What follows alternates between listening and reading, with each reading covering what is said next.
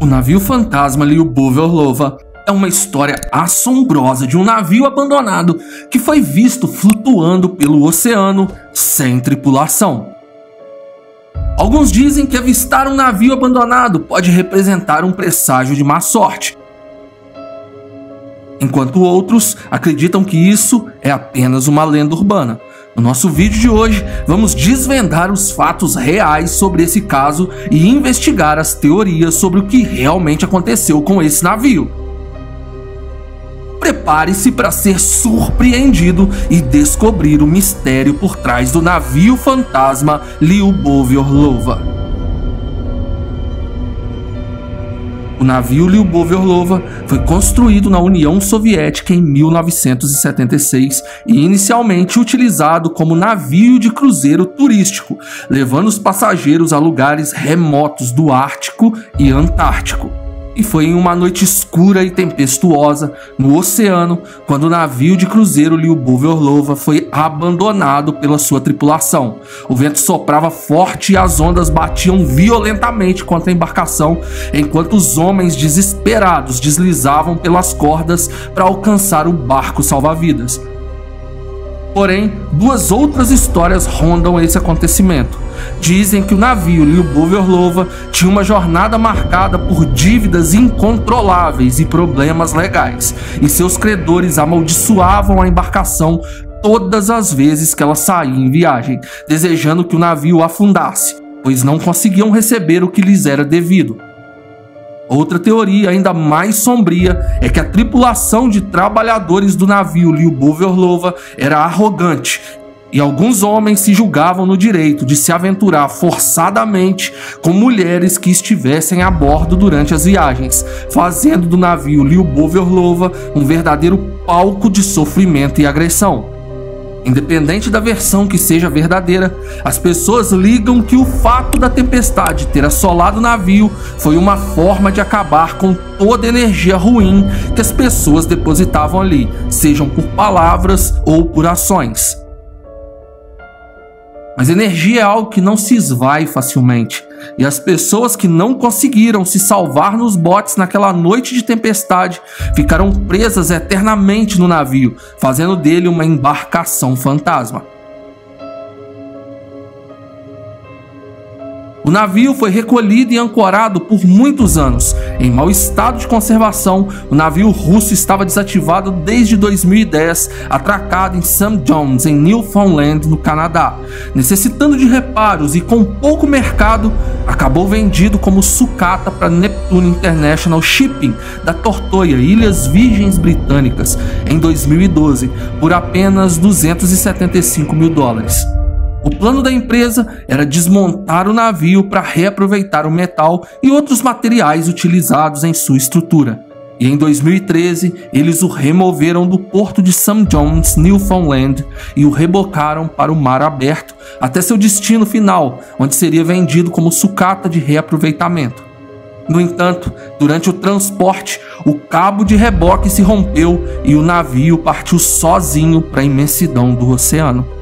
Ele desapareceu sem deixar rastros, mas o navio Lyubov Orlova não estava sozinho, pois dentro dele haviam almas presas em seu desespero. O navio foi avistado pela última vez em 13 de janeiro de 2013, cerca de 300 milhas a leste de Newfoundland. As autoridades marítimas iniciaram uma busca, mas não conseguiram encontrar o navio. Ele foi dado como perdido e seus passageiros e tripulação que estavam dentro dele no momento do reboque foram declarados como desaparecidos. Toda vez que um navio é rebocado, é necessário ter pessoas a bordo em comunicação com outro navio, para caso incidentes assim aconteçam, a comunicação via rádio possa localizá-lo. Mas não foi esse o caso. Desde então, o navio se tornou objeto de uma série de avistamentos e teorias da conspiração, com relatos de que ele na verdade estava tomado por entidades e agora havia se tornado um navio fantasma.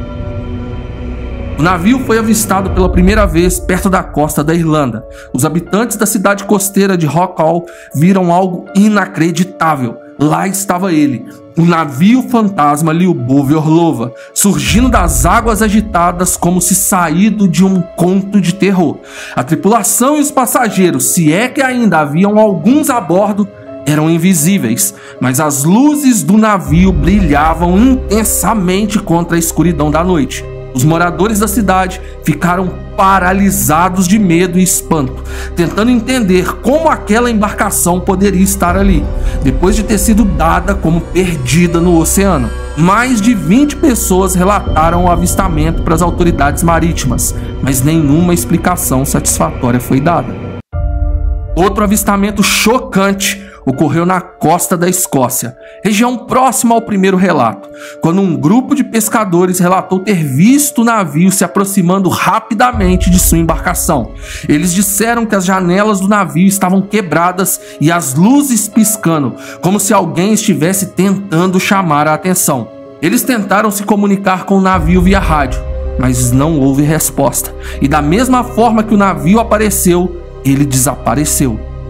As autoridades marítimas afirmavam que o navio estaria se desintegrando e afundando, mas outras pessoas chegaram a dizer que, na verdade, ele estaria sendo usado para transportar drogas ou até mesmo como uma base flutuante para atividades ilegais, principalmente após relatos de que o navio foi visto na costa da Noruega com as luzes acesas e a bandeira russa hasteada. Algumas pessoas acreditavam que o navio estaria sendo controlado por uma tripulação fantasma ou até mesmo por extraterrestres. Esses avistamentos e relatos chocantes só aumentam a mística em torno do navio Lyubov Orlova. A verdade sobre o destino de Lyubov Orlova continua sendo um mistério até hoje. Enquanto isso, os avistamentos e relatos continuam a alimentar a lenda do navio fantasma, deixando as pessoas se perguntando se ele realmente existe ou é apenas uma invenção da imaginação popular. Será que realmente é um navio fantasma ou apenas uma embarcação abandonada que segue vagando pelo oceano? A verdade pode nunca ser revelada, mas a lenda do navio fantasma continuará a assombrar os marinheiros e os habitantes das cidades costeiras pelos anos vindouros.